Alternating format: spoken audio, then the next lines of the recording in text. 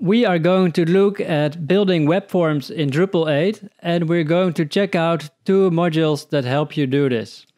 First, we're going to look at the contact module, which is included in Drupal 8 core. And next, we're going to look at the web form module. So the contact module, you can find it by go to structure and then contact forms. Uh, it will provide uh, two contact forms by default, which is nice. You can just go ahead and edit the default form if you want. But let's take a look at the process of creating a new contact form. The label will be the title of this form, which we'll call new contact form. Recipients is where you enter the email address where the submissions will be sent to.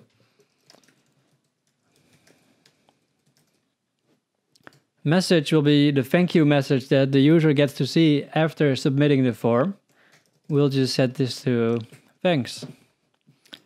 Redirect path is where the is the page where the user is forwarded to after submitting the form.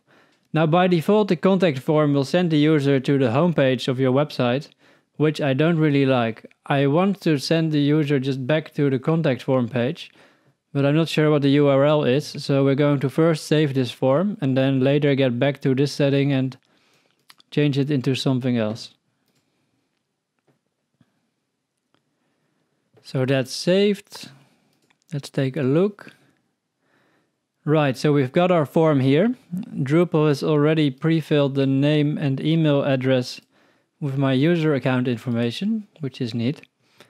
And one thing I don't like about the contact module is that it adds this preview button here and there's no way to remove it through the interface, which is a bit annoying, especially if you would like to build like a lead gen form uh, or any marketing form and you're really trying to optimize the conversion rate and then you don't need this additional button sitting right next to your call to action button. Anyways, what I don't like about the form right now is that upon submission, it will take us to the home page. So let's change that. We want this to go to the URL of this contact page, which we'll copy from here. Okay. Um, contact forms, new contact form, edit, redirect path. It's, it's Drupal 8, so we have to start the path with a forward slash. So we fixed that. Now let's take a look at managing the form fields.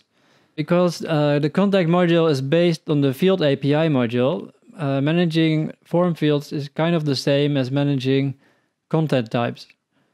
So we can add the same fields that are familiar if you've ever created a content type in Drupal. This is a powerful feature, but also one that, you know, creates some clutter because this list will include some things that we, we will never use in any web form. Uh, what shall we add? Just city will be fine. And this looks okay. Not much to configure here. We can make it a required field. And if we want to change the look of the form, we'll do this in the form display tab. There's not much we can change here. We can set a placeholder, which is cool. But we, while we can set a placeholder, we could make this, you know, city. There isn't an option to hide the label of the field in the form, which kind of is annoying because this doesn't uh, let us design a very minimalistic form. So, you know, let's just put some city here.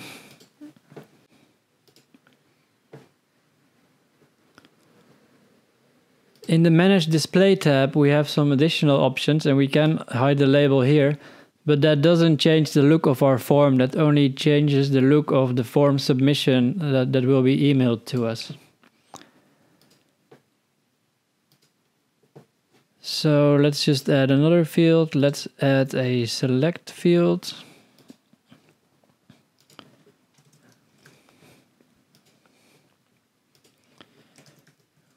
Red blue, yellow,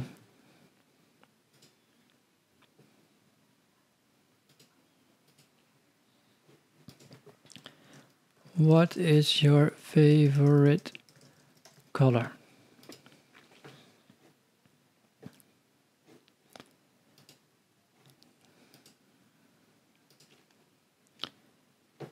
There we go. As you can see, it's very easy to create and edit forms with the contact module.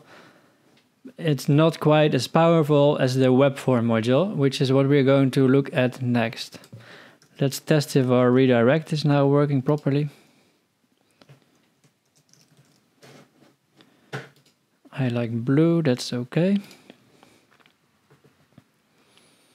Yeah, this looks good we get this error, but that's just because I'm editing this on a local host environment and it's not supposed to be sending out any emails.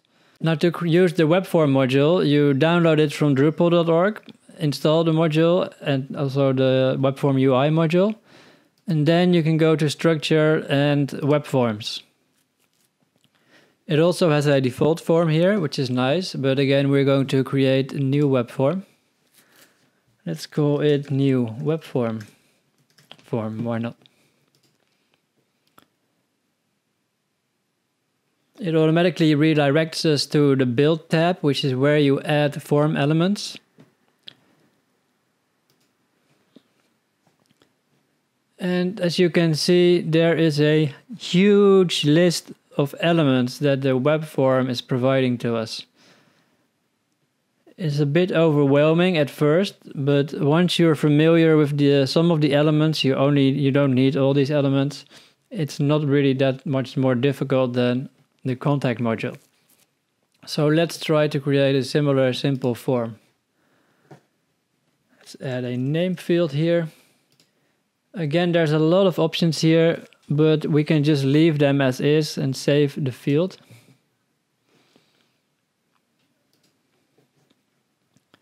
I would like to know someone's email if he's going to send my form.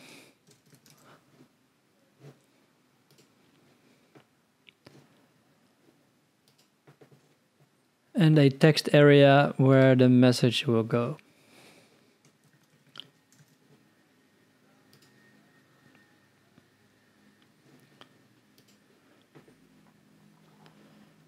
Save. And there's our web form.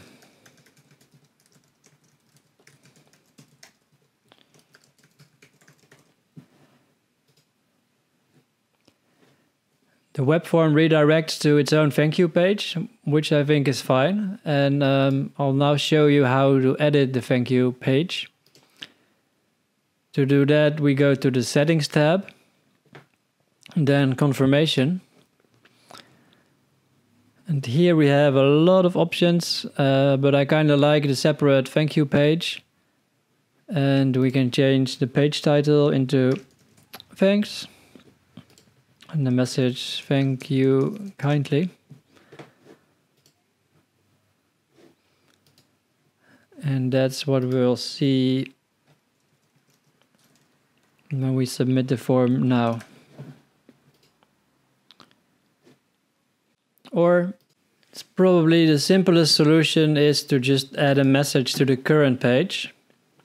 And since this is a simple form, I think the simplest solution will be the best solution. Let's check that out.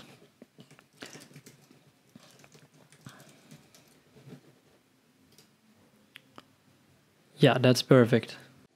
Now the foremost reason why I like the web form module is because it gives you more design control over your forms.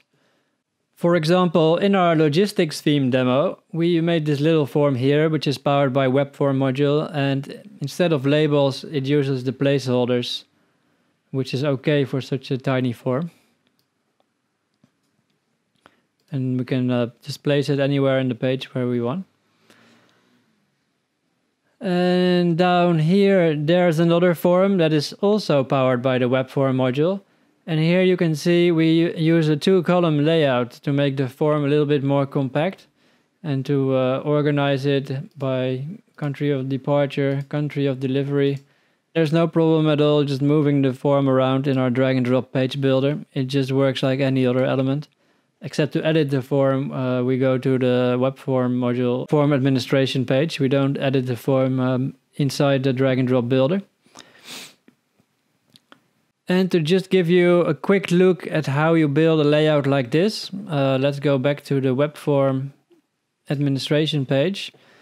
So say I want to create a two column layout for this simple form. What I prefer to do, and I'm sure there's multiple ways to achieve this, is to use the flex layout container. Save that.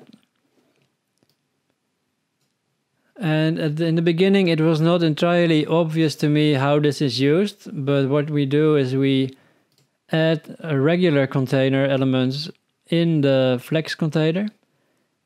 And each additional uh, container inside the Flex container will change the layout. So now we add a second container and we'll have a two column layout. If I were to add a third container as a child element of the Flexbox element, we'd have a three column layout. We put the elements inside the containers.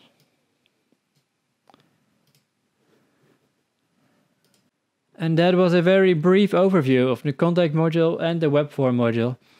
If all you need is a simple contact page and you don't want to invest any time in customizing your form, I think the contact module is a great option.